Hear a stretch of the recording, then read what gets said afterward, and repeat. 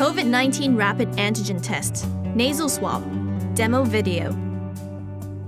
Read the instruction guide of the product carefully before performing the test.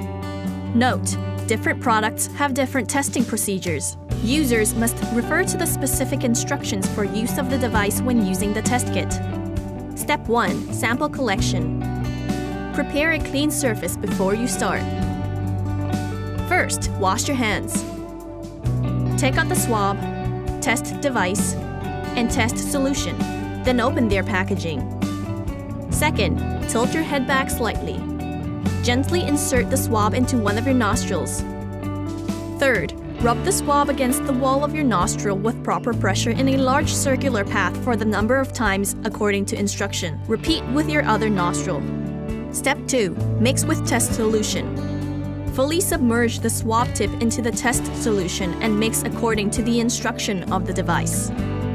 Note, some test kits require breaking off the swab tip and keeping it in the solution. Users should perform the test according to the instruction for use.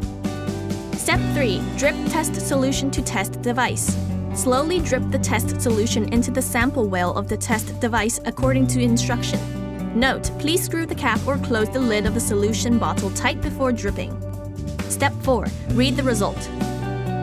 Wait according to timing instructions given in the instruction guide before reading the test result. The result will be considered invalid beyond the specified period of time. You may take a photo of the test result if you want to keep a record. If only the C line is present, then the test result is negative. If both the C line and the T line are present, then the test result is positive. If the C line is absent, regardless whether the T line is present, the test result will be considered as invalid and you should do another test with the new test kit. Step 5. Proper disposal. Dispose all parts of test kits properly after use and wash your hands.